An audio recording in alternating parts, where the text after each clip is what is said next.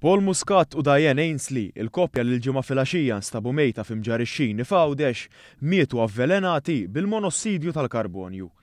Dan wara li l-koppja ħallew il-bieba tal-forn miftuħa biex isaħħnu l-kamra li kellhom f'din il-bajja pittoreska. Sorsi qrib l-investigazzjonijiet tal-Pulizija spjegaw li minħabba n-nuqqas ta' ventilazzjoni, l-arja saret waħda velenuża, bil-konsegwenza li Paul u Diane mietu avvelenati bid-dijossidju tal-karbonju. L-istess sorsi spjegaw li l-koppja jidhru li xegħlu l-forn u ħallewh bil-bieba miftuħa biex isaħħnu d-dar waqt l-irqad. Kawża ta' dan, fi ftit sigħat, il-kamra mtliet kollha gass velenuż.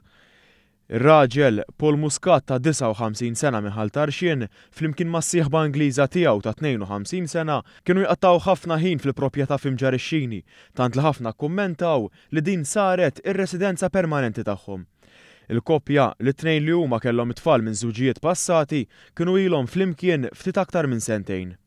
Huma nstabu bla ħajja l-Ġimgħa filgħaxija wara li Muscat, li kien jaħdem bħala kaptan mal-Gozo Channel, kellu jidħol għax-xogħol. Il-kollegi tiegħu rrappurtaw in-nuqqas tiegħu lill-Pulizija wara li tentattivi biex jikkuntattjawh irriżultaw fin-negattiv. Il-Pulizija rċivew rapporti wkoll mingħand bint Muscat wara li baqgħet ma semgħatx b'aħbaru. Persuni li tkellmu ma' one News qalu li l-Pulizija żgassaw il-bieb wara li bdew iċemplulu fuq il-mobile u ma fetaħ ħadd. Intant fl-aħħar sigħat, il-katavri tagħhom inġiebu Malta, b'dak tal-mara mistenni jittieħed lejn l-Ingilterra biex tingħata l-aħħar tislima minn qrabatha.